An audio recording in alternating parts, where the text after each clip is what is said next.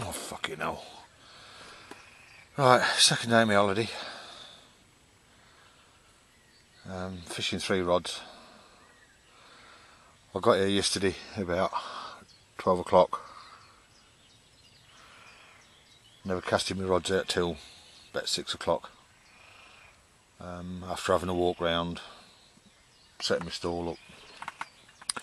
Um, tea was just after 5 last night so I couldn't see the point in casting out just to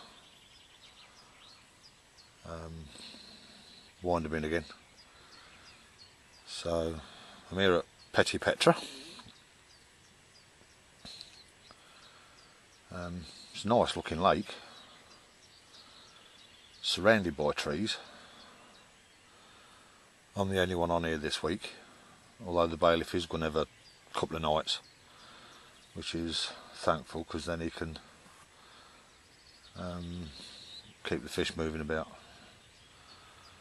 Uh, blokes was on last night and they left this morning.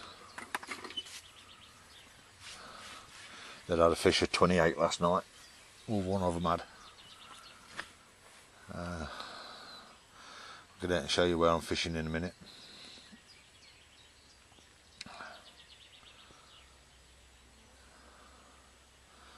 I've noticed one thing already. Um, the red seed mix that I've got with me is too soft. Um, not even getting three hours fishing out of it, but thankfully I've got five kilo of air dried um, blue oyster, so some of that's gone on. And I mean it's um, air dried. It's been air drying since last year.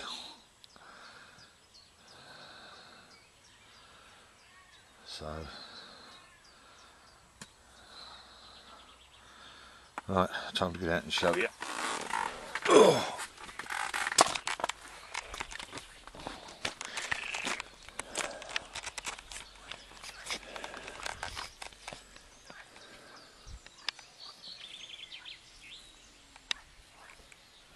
Where is it? That one there.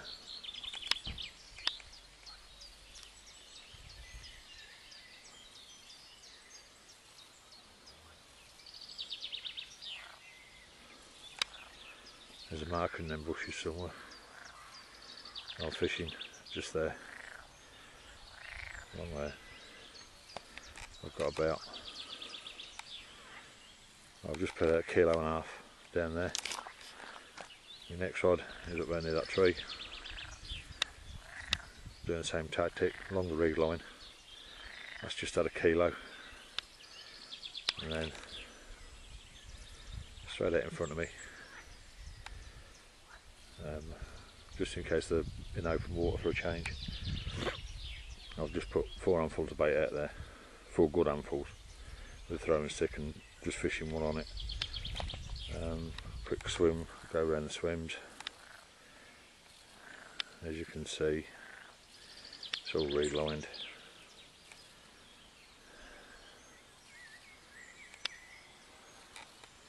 Till you get to that side. There's a swim. There's a swim. There's a swim. And there's there's a swim. And the last one is up there. And there's an island which is just there. The wind's pushing down towards the island. But apparently the fish live in the reeds. So we'll just have to wait and see. Right, sign off, won't put this on charge. I'll speak to you later.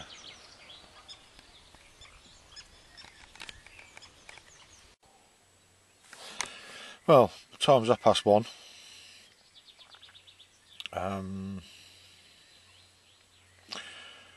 I've not seen a fish bubble, I've not seen a fish roll, and I've not seen a fish in the reeds. Um, the other lake just over the way there, I've heard a few crash, so after tea tonight I could could well and go and have a look um, and start putting a bit of bait in today and fish it tomorrow for a few hours. Just take my rods over there, landing net, and stuff like that. So we'll just have to wait and see. Uh, it's bloody hot out there, that's why I'm still sat in the bivvy. The only one on the lake, so I'm not being antisocial. Um, tied a few rigs up, three stiff rigs, one with a um, curved shank on it, D-rig style, one with a Gardner incisor, which I do like for France, medium shank, straight point, straight away, and again on the D-rig, and then I've got, um, what have I got? Oh yeah, Kamasan size 6 B175 fish blowback style, but instead of going back through the eye the proper way, I'll come, come through the back. It's got a very aggressive inturned eye. So coming in through the back it more or less sits, more or less sits straight. They've all been sharpened. Um, so we'll just have to wait and see now.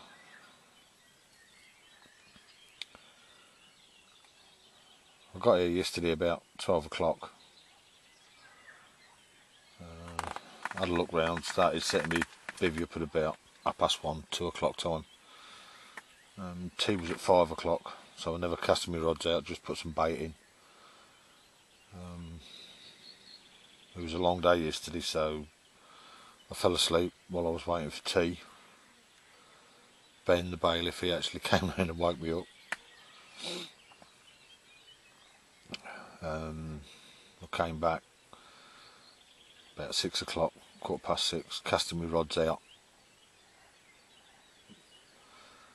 Got into bed and that was it.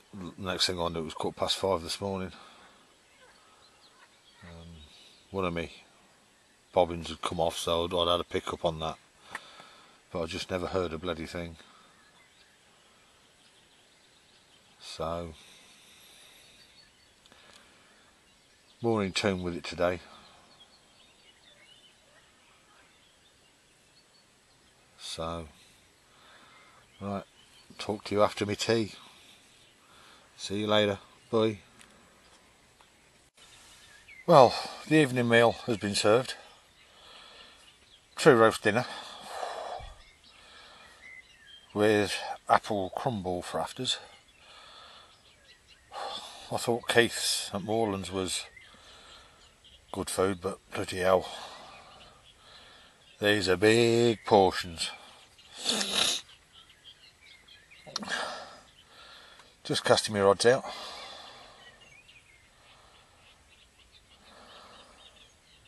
Should say just recasting my rods out. To weigh, weigh some bait out ready for tomorrow.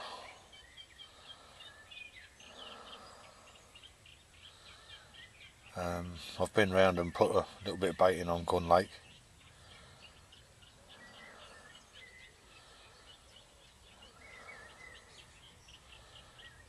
So it's still warm out there. Very warm. Although there is some wind about because I can hear it rustling in the trees. The lake is flat calm. Um, the bloke wants, because it's up for sale, he wants 250,000 for it. And if I'd got it, I'd give him the bugger tomorrow. Lovely lake. You don't hear no traffic.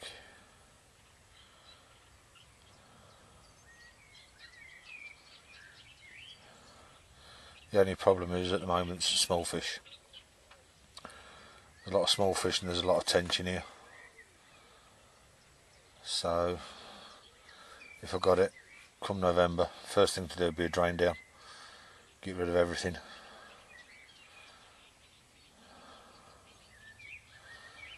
Have about 250 carp in it. Trim some of the reeds down around the outside because um, from what I've seen at the moment, that's it. They're getting the reeds and they just sit there. So plant some lilies or three or four patches of lilies out in the middle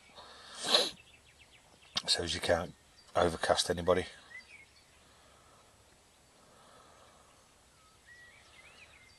Yeah, so as you're fishing your side of the lake and not the other side boats wouldn't be allowed because they're not needed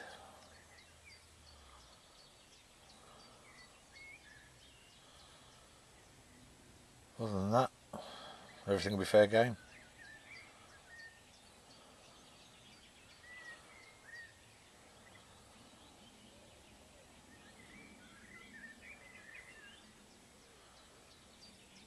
So, right, I'm going to sign off now. Go and put this on charge. Even though I've just cast my rods out. Take my receiver with me just in case.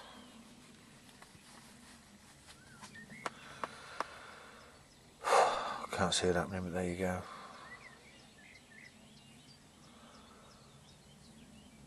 Right, speak later.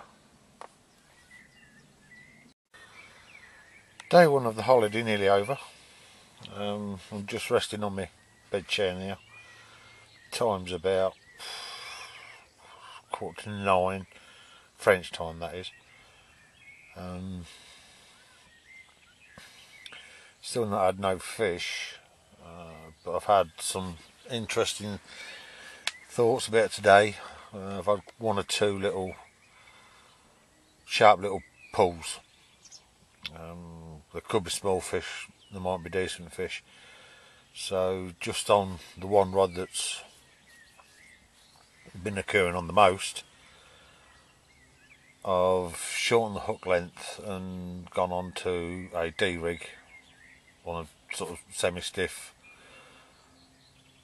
No, that one's a stiff uh, hook length. It's 15 pound mouth trap, uh, fish D rig with the bait tight to the ring so as soon as fish picks it up it's going to the hook in its mouth anyway see if that makes any difference. Um, the lake is still flat calm. I did see a fairly big bubbler. I mean I'm not going to say it was a carp uh, but a fairly big bubbler out to the right on well just before tea about half past four. Um, other than that, not a lot to go on. Uh, I'm happy where my baits have landed this time. So I've got fish bashing in the reeds to the left. So rod number one, the left hand rod. Mm, quite confident about that one. The middle rod that's casted out down the same margin up close to a tree so we'll just have to wait and see there the third rod's just fished over the just chucked out there and fished over a small bed of bait four granfuls we had four granfuls last night this morning dinner time and then just before tea so we'll have to wait and see right sign off. Till tomorrow now. Bye.